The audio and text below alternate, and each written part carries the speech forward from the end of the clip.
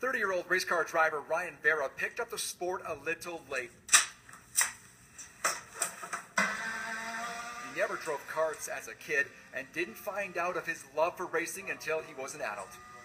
I learned in life that uh, nothing good comes from easy, and I need something challenging. And racing absolutely took my heart, and it just boy, it's it's hard.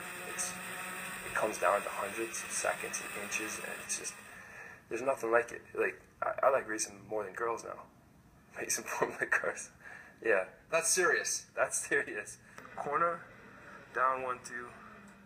Ryan built a racing room with a simulator in his southwest Calgary apartment. It's a valuable tool for him as he's constantly practicing and taking notes on the tracks he's about to drive on.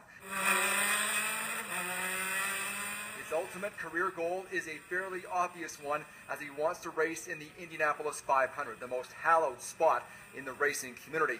But he's still got a ways to go to get to compete at the Brickyard. 80% of open wheel racing at this level is off the track.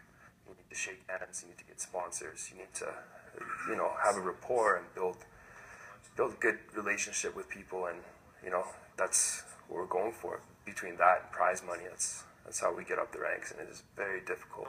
Some of the best drivers in the world are sitting home at their couch. Coming up to the hardest braking hairpin. Ryan hopes to one day start a racing school somewhere in or around the city. When you're in the racing community, you meet a lot of people and uh, I met a lot of cool guys. I had a Grand Am driver, an IndyCar driver, Petit Le Mans driver that uh, wants to work with us, and we're developing plans. So we're going to bring top level drivers in and teach the average street driver, street racer, whatever, how to race safely.